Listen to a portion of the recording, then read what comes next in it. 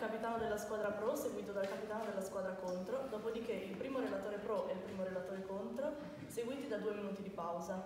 Dopo i due minuti di pausa ci sarà il secondo oratore pro e il secondo oratore contro, dopodiché altri due minuti di pausa, il dibattito libero, due minuti di pausa e la conclusione dei capitani. Ogni intervento durerà tre minuti, mentre il dibattito libero durerà otto minuti. Potranno partecipare solo i tre oratori delle due squadre e per non,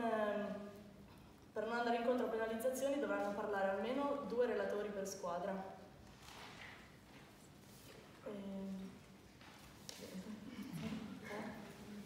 Ah sì, scusate. La giuria è composta da Benanchetti Chiara, De Mattia e Massa Zamario. Per quanto riguarda i discorsi degli oratori, io suonerò